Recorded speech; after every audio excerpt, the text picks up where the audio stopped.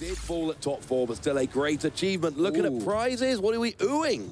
We see the Minccino and the Blood Moon Ursaluna currently in the prize cards there for Rahul. So we'll not be able to have access to them as they are both one-offs. Could be really impactful since Cinccino is the one the only Pokemon that can one-shot a Dragapult EX. But looks like both players have shook their hands and Rahul is getting us started here in our Dortmund Regional Final. Has a Squawkabilly in the active and will flip tails on a capturing uh, Aroma. Yeah, this is a good point in the game where if you flip heads, you go and get an Archeops to try and discard it. If you flip tails, you go and get something like your Minccino, if it isn't prized, your Lugia V, and your other basics with which to go and set up. So whichever way you flip at this stage of the game, usually okay. It's that late game when you need to flip heads for the evolutions or the mid game where it gets a little more awkward. So a quick reminder about this Lugia deck for those of you that may be jumping in a bit later to the stream. The goal is simple. You get Lugia V-Star, you get two Archeops in the discard, you use Summoning Star to put those two Stage 2 Archeops directly onto your bench,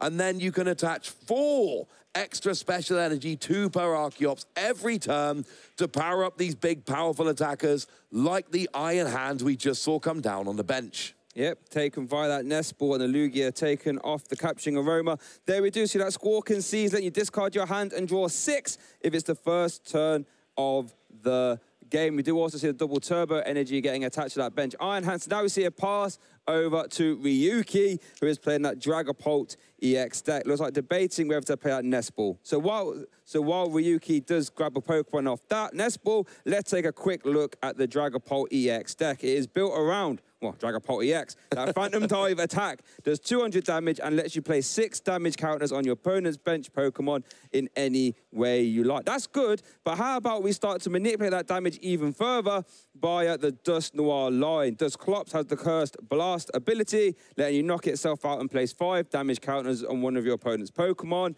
And then Dusknoir has Curse Blast as well, which does 13 damage counters to one of your opponent's Pokemon if you knock it out. Doesn't stop there though, Ross, because Radiant Alakazam can use Painful Spoons to move two damage counters from one of your opponent's Pokemon to another. So damage can just be manipulated in a myriad of different ways, and that is what Ryuki will be looking to do.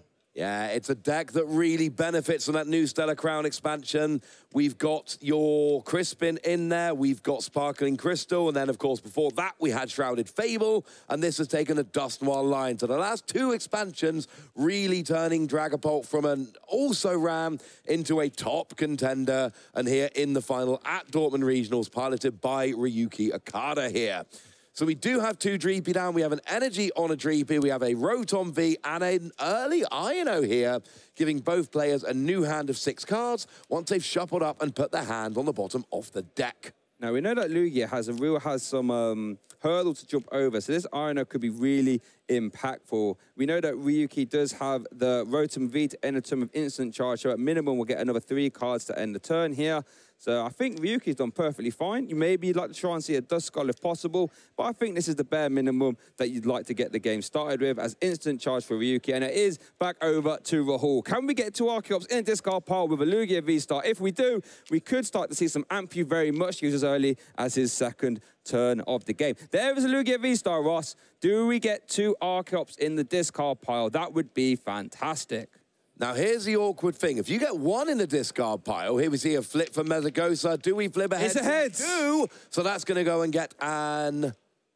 It is an Archeops, isn't it? I would imagine it'd be an Archeops. Yeah. There it is, yep. Just double checking it was any Pokemon. It Yes, is. You do Pokemon. go and get the Archeops here. You could actually get the Iron Hands rolling with one Archeops, but it's generally a very bad idea to only get one Archeops out. So Earthen Vessel discards the first Archeops, failing that search, and it seems like, well, if we can get a second Archeops here, things are going badly for Ryuki, because not only will that Iron Hands get a KO, it'll take an extra prize while it does so. Yep, and it stays outside of range of Phantom Dive at least for now with that 230 hit points. Jet Energy will maneuver the Iron Hands into the active. Let's see, and we're going to see an Iono there for Rahul. So, if Rahul can get into an Archeops and a way to discard it, Rahul will be able to use Summoning Star for the maximum value. We see an Archeops and an Ultra Ball! Two Archeops! Only needed one, but draws into two. Oh, but wait a minute. He drew into the Legacy Energy. Won't be able to Primal Turbo that.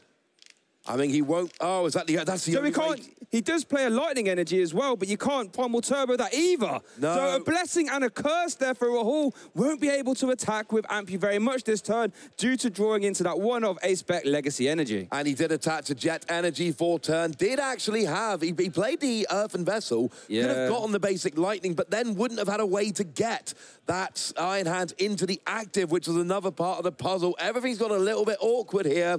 The double Archeops Ultra phenomenal draw, but the only card he didn't want to draw was the Legacy Energy. Here we see the Summoning Star, double Archeops going onto the bench. We see the Primal Turbo coming out, but that is super annoying if you're Rahul. You've used your attachment for the turn, and the only energy that can be accelerated with Archeops to pay that lightning cost isn't an option.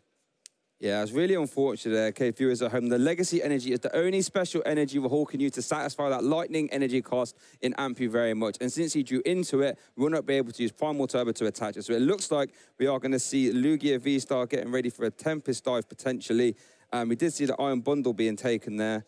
Uh, no, it's going to be a pass instead. Oh, that is, that was so close to being the perfect turn for Rahul there at the start of this final. All he needed was to get one Archeops and a way to discard without Legacy Energy. Right, this could be really With important. Mesagoza, it's and it's ahead. head. Now, I believe Ryuki does have a, a, um, a rare candy in hand and the sparkling crystal ace spec. So as long as we see a basic energy in the hand, Ryuki will be able to fire off a turn to Phantom Dive. Yeah, go straight for that Dragapult. And here's the problem. Now we don't have a Pokemon in the active that can be easily KO'd with Amp You Very Much.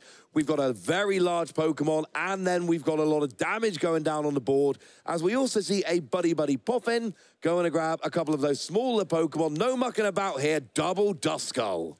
Yep, and that's gonna and that's how the Dragapult players can opt to sort of bolster their Phantom Dive output damage by using Curse Blast to you know factor in an extra five damage counters. Or Oh, there's the rare extra- oh, candy. there there's the go. sparkling crystal. There's the energy from hand. Phantom Dive Shay. Yep, turn two, Phantom Dive, that's the aim of the game for a Dragapult EX player. 200 damage into the active, and you can spread six damage counters to the bench. I wonder if Yuki, with so much bench damage manipulation, you can even start trying to go over Archeops if you like. The Squawkabilly is a very soft 160 HP two-prize Pokemon, so there's a multitude of options there, as it looks like all six will be on that Squawkabilly. If you think you're going to get free Phantom Dives off during the game, then it's absolutely worth putting it on the Squawkabilly. Tails on mm. Mesagoza for Rahul here. No extra Pokemon this, this turn. So let's see what else Rahul can line up here. We do see Iron Bundle. That's going to be used with that Hyper Blow ability. That's going to force uh, Ryuki to promote another benched Pokemon. It pushes that Dragapult out the way. Ryuki does get to choose.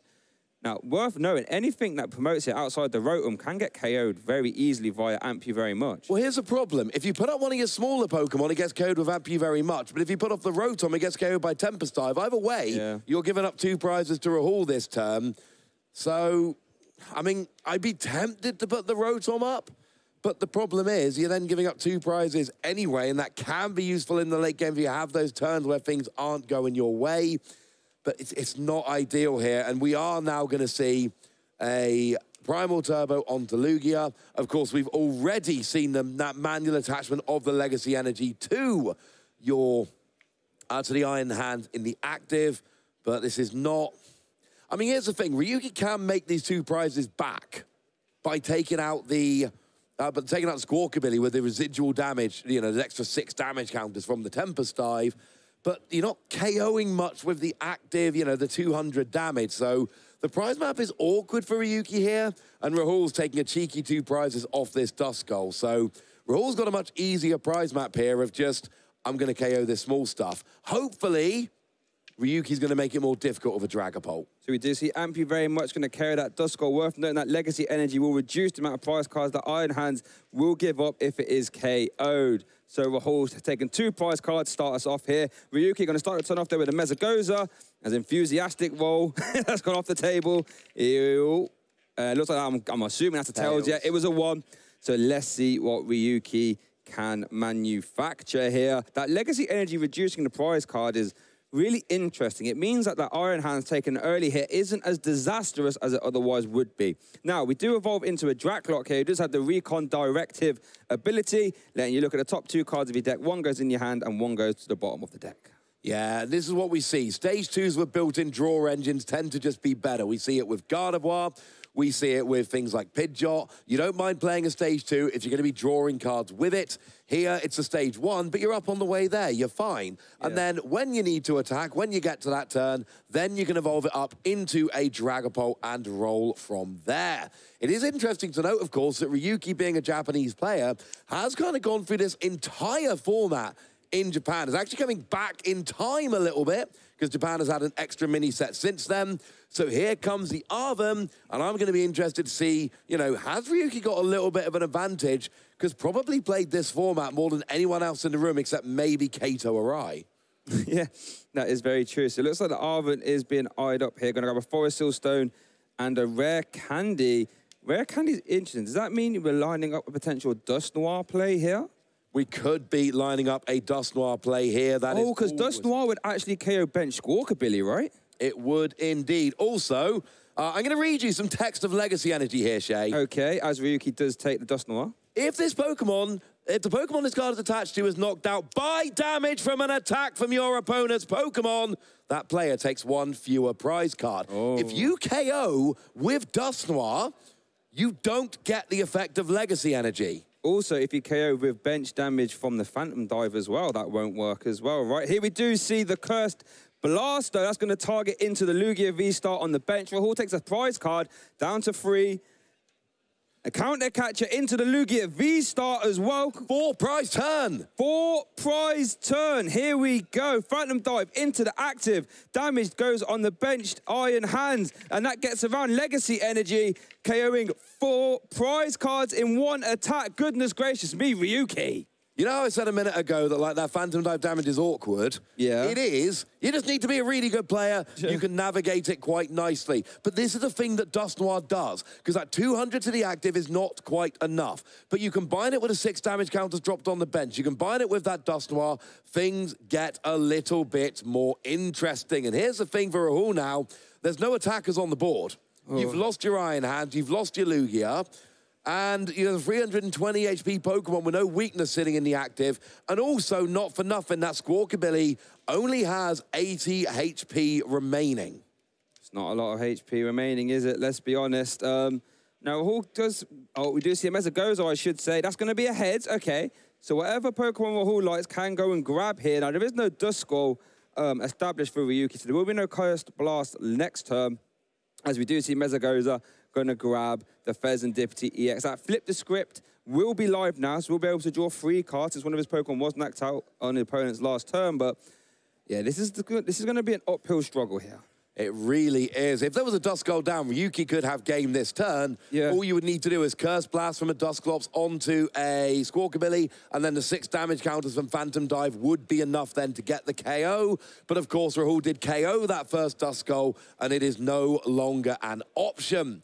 So here we do see the flip with your capturing aroma. It's a heads, so it has to be an evolution Pokemon we get coming out now.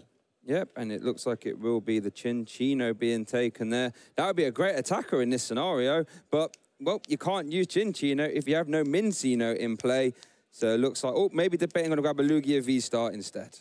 Yeah, either way, that, that's not a terribly useful Pokemon right now. No. Rahul is choosing between two Pokemon that aren't going to do anything right now. Lugia goes and hits the board, and now we do see the Primal Turbo. Ryuki, if there's any gusting option, will win next turn by just KOing that Squawkabilly.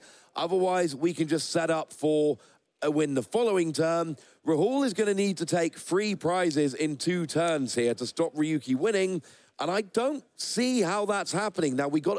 Is we going to attack with Lugia V here? Use an aero dive, perhaps, doing 130 damage and lets you discard a stadium. Not an attack we see too often, but, you know, would actually do 110 off that double turbo energy attachment if we do see Flip the Script being activated there as well. And now Rahul's playing an Ultra Ball. Oh, are we seeing a Wyrdeer play? Oh, we could see a Wyrdeer play. I'm going to have to do some maths on this one. It's 40 damage for each energy attached to this Pokemon, but if it's a double turbo, it's 60 rather than 40. Here's the boss's orders onto the Drakloak here. Actually gets KO'd. By a speed wing on that Archeops. And wow, that's, okay. That's really clever from Rahul. So now he has set up the free prizes in two turns. He's got a Wyrdeer play for next turn. And what we got? One, two, three, four, five, six, six, seven, 24 plus 20 extra for each of two double. And we're not there yet, but we will be after another primal turbo. There's a Mesagoza flip heads for Ryuki. So it looks like Lumineon could be grabbed. Lumineon bosses orders into that damaged Squawkabilly EX. And Ryuki takes game one here in our Dortmund regional final and did it with an absolute masterclass, completely dissecting Rahul's board. Game one goes to Ryuki. Yeah, that was a fantastic play there. And like we said, if Ryuki had the boss's orders, any gusting effect would have ended the game. Yep. Rahul did a great job in that final turn, setting himself up for the following turn. Couldn't win Yep. then, but basically said, look, I've taken an easy prize. I've left a one prizer in the active, forcing you to have some kind of gust. I have set myself up a board where I can win with a Wyrdeer next turn of an extra primal turbo. I have done everything that I can. Please don't have boss's orders. And Ryuki went, sorry, actually do have boss's orders, or at least Lumineon therefore. Let's take a look at the replay. Rahul exhales, and we get rolling. Here we saw a big flip on the Mesagoza, which was enough to go and actually get that Dragapult rolling, Yep. and a giant four prize turn getting around that legacy energy in the process. What a turn that was. Completely swung the game there. And Ryuki was just in the driver's seat immediately. Rahul didn't even have any attackers left. You know, tried to set up a, a decent attacking play with the weird next turn, but Lumineon, boss's orders, bringing up that Squawkabilly EX, and that was all she wrote there for game one as Ryuki steamrolls into it and did it in a rather fast game, actually. So plenty of time left in this round. I think if you're Rahul now, Ross, what do you think is going through your head? I'm just thinking, I played well that game. I set up quite well that game, and it didn't even matter. Rahul played very, very well, gave a great account of himself as a player with a really strong Lugia deck list, and Ryuki was just able to navigate. But, oh, two Drakloak prized is not ideal, nor is that one of Wyrdeer prized either. All right, so it looks like our game two is getting started. Rahul is starting us off here. Has led that one copy of Blood Moon Ursaluna, benches uh, Lugia V. Has a Mesagoza. Now, worth noting that it works really well for both players, of course. And let's see, is it heads? Okay. Go search for any Pokemon you want. And to finish my fourth from a moment ago, Yep. if I'm Rahul, I'm also thinking I've taken one loss. I'm 14 and 1. Yeah. I have taken one loss this entire tournament since I started early yesterday morning. And yeah, I had a game where my opponent just got did better. Won that game, but I'm a phenomenal player. I've got a great deck. This is far from over. I'm also thinking I've never had a final before. I've never had a big victory before. I need to make the most of this. This is my time. Frankly, Rahul has waited long enough, so I expect to see a great game here. And if I'm Ryuki, I'm thinking, hey, I like this Dragapult deck. It's pretty good. Yeah, as we do see Rahul going to take the Squawk ability off the Mesagoza. Jet Energy get Lugia V in the active and Squawk and Seize. Going to get rid of a Cinccino, a Boss's Orders, an Earthen Vessel, and a Lugia V Star. There's that Legacy Energy again in the hand. We don't want it in the hand. That's pivotal for Rahul in game one. Is over to Ryuki, who's actually led that one copy of that Tatsugiri, of that Attract Customer's ability, letting you look at the top uh, six cards of your deck and grab any support you find there and put it in your hand. I love Tatsugiri. It's a wonderful card. And also, it is, must be noted that, yes, that one turn with getting Legacy Energy in hand was pretty bad luck from Rahul. But then again, that was weighted by the getting the rare can, excuse me, the, the Ultra Ball and Ultra. the Archeop. So good luck and bad luck rolled together. So Tatsugiri is going to give Ryuki a guaranteed supporter if there is one in the top six cards. Yep. But now we get a Buddy Buddy Poffin coming down, and it looks like at least one Dreepy, but I think we might be going double Dreepy. Yeah, it looks like we're going double Dreepy here. Yeah, I think you have to go double GP with two of them currently in the prize cards. You can't really afford to just be. Oh, the Drakloka prize, not the Dreepy. Oh, I thought it was Dreepy. I thought it was Drakloak. I thought it was GP. Well, we'll, get some confirmation. Yeah, we'll get confirmation. confirmation on that. So it looks like we are going to grab at least one, two from the deck there of that Buddy Buddy Poffin and get them early into play. Love that attack name. It was two GP, it looks like, in the, in the prize cards. And that Oh. Roxanne as well, actually. So that's I apologise. eye out for. I could have sworn it was Drakloak. Thank you for the correction there, Shay. okay. But we got two down for the time being. That means that we can at least get some rolling and hopefully you start taking some prizes. And then from there, you liberate your Dreepy friends Yes. from the prizes. There's no Hisuian Heavy Ball, though, so you will need to take prizes to actually get access to them. So we are going to see Dreeb. We did see a Tails on the Mesagoza. Here we do see the attract customers. Let's see, is there a support? I think there was a Crispin at the very least. And yep, there we do see a Crispin. Not something you want to use. Well, I mean, you could use it this turn if you have no other option, but something you realistically want to use when you have a Dragapult EX out. Yeah, Crispin is perfect for those turns where you've got a Dragapult, no energy on the board, and you can't find your Sparkling Crystal or you've already used it.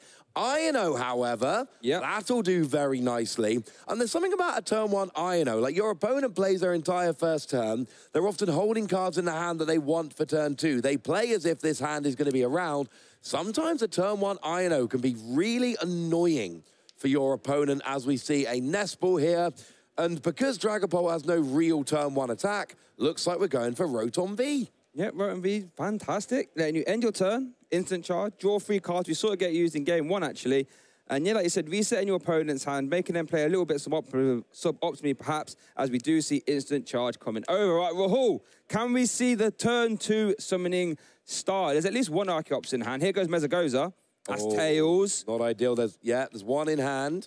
There's some Iron Hands with that lightning energy now. And it's just to read the wind, Ross. That is not the turn that Rahul really wanted there. Read the wind, discard an Archeops, draw three cards, but it is not that turn two summoning star for which all Lugia players wish. So we're now back over to Ryuki. Can he get the turn two he's looking for?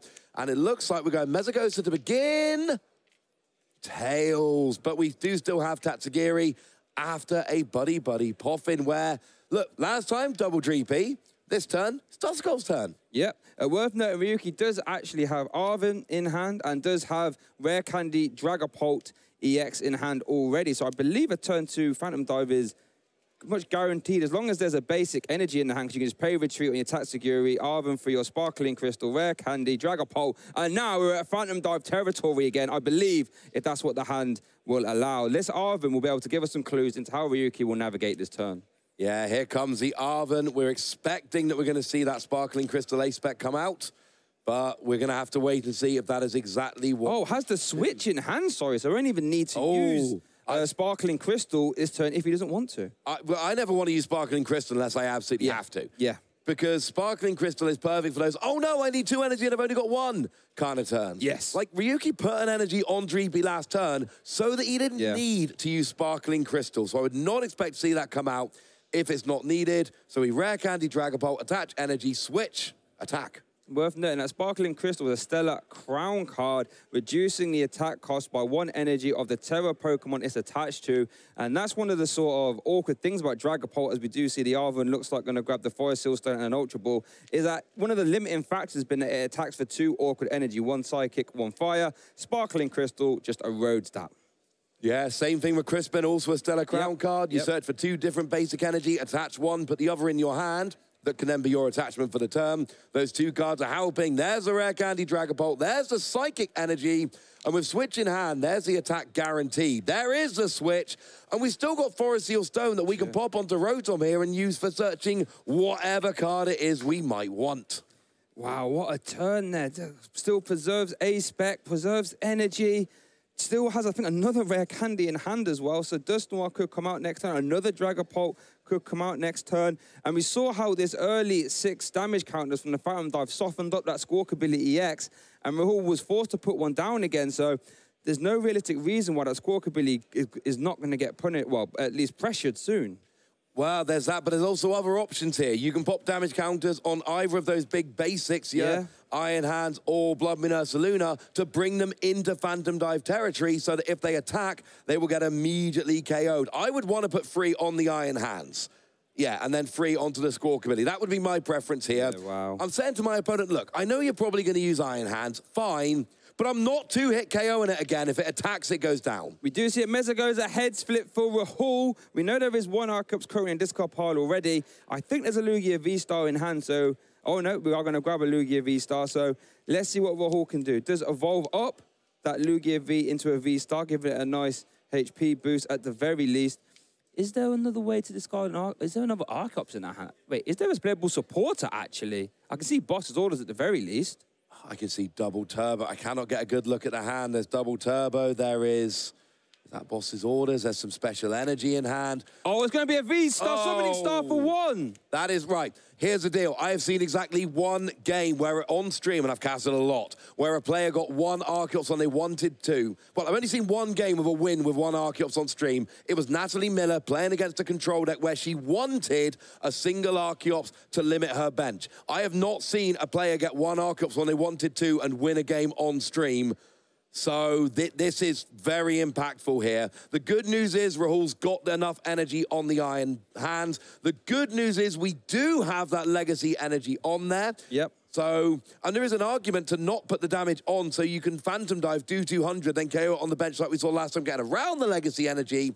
But this is best case scenario for Rahul right now, but I do not like having one Archeops. Here comes a Dreepy active, and Rahul, you see the hands, two prizes, but that one Archeops on the board is huge. Worth noting, remember, Ryuki has prized two copies of Dreepy. I don't think took one out the prizes, so there will be no Dreepy to put down this turn. Worth keeping an eye on that, as Ryuki does promote the Tatsugiri, is going to go for Mesagoza. Loving those enthusiastic dice rolls. Looks like that was a four, so that's a heads. Now, interestingly enough, Ryuki's got a free prize turn, I believe, no, doesn't have a free prize turn on the board. That Lugia would be 20 damage short. But can KO the... Oh, and there's only one prize actually coming for the Iron Hands because yeah. of the Legacy energy. But the thing is, it's not getting KO'd this turn.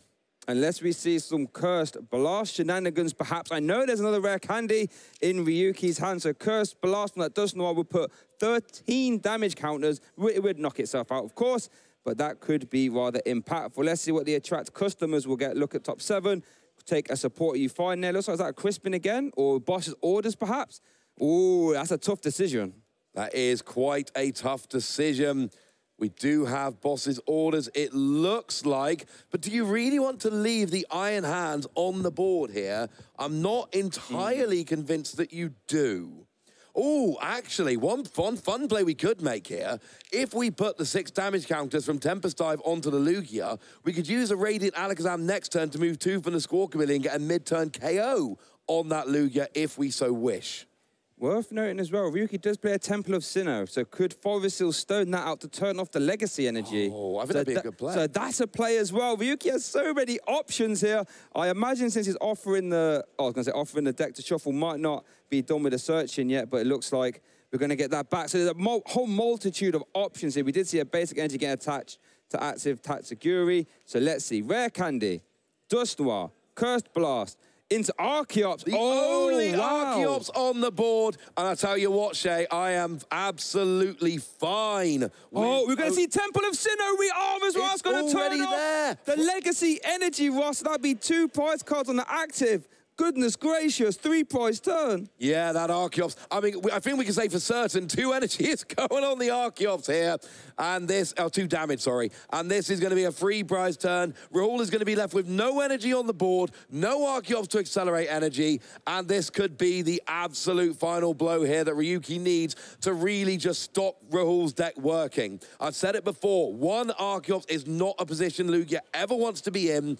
And generally speaking, if you have one Archeops, your opponent will go after it. Two, maybe it's not worth it. One, oh, it's definitely worth it. And Temple of Sinnoh turning off that legacy energy, icing on the cake, Shay. Yeah, Forest Seal Stone using Star Alchemy to go grab that Temple of Sinnoh in case you don't know. Makes your opponent's special energy only count as colorless. That any extra effect that it has no longer valid, as we do see Lumineon for Iono as well. Temple of Sinnoh coming down, replaces Mesagoza. Special energy now only count as colorless, and we do see Ryuki shuffling up the deck, and Iono being played as well, Ross. Goodness gracious me, what a turn. Yeah, this has been just, I mean, the first two turns here from Yuki have just been absolutely, is it, this is turn two? No, it's turn three. The turn first three, three turns three. here from Yuki have been phenomenal. Here comes the damage. We get the KO. Here comes two damage counts onto Archeops to get the KO. Four left to play with here. And, I mean, Lugia's got to be an attractive target here because honestly, next turn, what I really want to do is gust up the Squawkabilly, finish off the Lugia, and that's the game. Although you only don't need two onto Lugia, to be fair. Yeah, I mean, quite honestly, there's so many ways Ryuki can close this game out. Boss's orders now. We can even just curse blast into the um, Squawkabilly on the bench. That would win the game as well. So many options for Rahul. What can Rahul do? Ryuki did take a GP out of the prize cards there. Here we go. Capturing Aroma. And that is a heads. That would be an evolution Pokemon can be taken. Yeah, any evolve, any evolution Pokemon can be grabbed here. It is an Archeops, but of course, the, the Lugia decks, they don't play any way to evolve up into the Archeops. The Archeops only comes out with Summoning Star. We do see Fezandipiti coming down here. That is going to draw all three cards as virtue of having a Pokemon KO'd the previous turn. But what's he really looking for? Like, Lugia doesn't play low energy attacks. Oh, he could attack with a double turbo on the uh, Blood Moon Ursaluna with the if there wasn't a Temple of Sinnoh in play. Yeah, so that all goodness gracious, all the avenues for Rahul could obviously replace the stadium, of course, that would work. Yeah, it's capturing aroma. That's going to be ahead. Another evolution program. Flip the script was used, was able to draw three cards. So stadium replacement, and then Blood Moon Earth Ursaluna could attack with that Blood Moon. Yeah, here comes Archeops out of the deck here. Um, two discarded with an Ultra Great on turn one. Not so good on turn four or five when your opponent is in a dominating position and you've already lost your Archeops. Does look like we're getting a Lumineon, which is going to immediately get a Professor's Research. So Rahul is going to have a new hand of seven cards. What is he looking for here, Shay? What could get him out of this? I think energy, so you can maybe start trying to build towards a Wyrdeer that obviously you have attached already, but I think the most obvious answer would be a, a stadium replacement, so at least you can attack with a Blood Moon. I only plays two copies of Mesagoza, and one has been used already. I don't see one. No, it's not in the hand. I'm pretty sure I did not see it there. Oh, and, and a there's concession. a concession. Ryuki Okada is your Dortmund regional champion, our first regional champion of a European event this season is actually a player from Japan. It's Ryuki Okada. And I'm fairly certain Ryuki is fir our first ever Japanese EU regional champion as well. Congratulations to him. $10,000 per richer as well. Wow, what a round. So convincing fashion there. Dragapult was just dissecting the Lugia deck, and look how excited he is. We love to see it. Congratulations, Ryuki. Yeah, I'd be pretty excited.